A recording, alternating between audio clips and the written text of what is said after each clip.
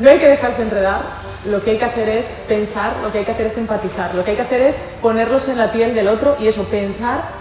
qué es lo que le ha podido llevar hasta tomar esa determinación, qué historia puede tener detrás, qué drama puede haber detrás de todas esas personas.